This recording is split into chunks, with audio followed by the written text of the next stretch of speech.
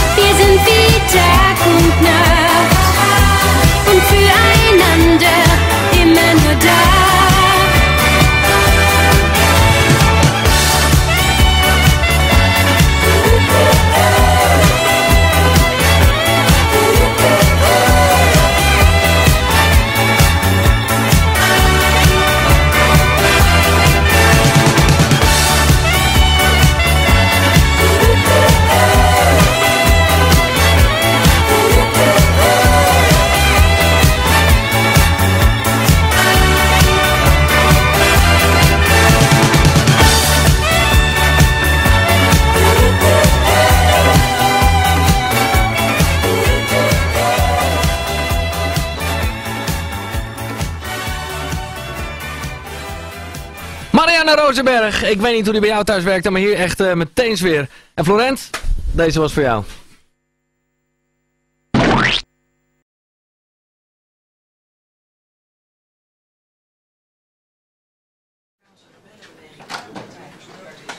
Ik kom voor de clip van eh, Florent. Wat moet ik doen? Hoe laat waar? Ze zijn al afgelopen. Je bent gewoon te laat.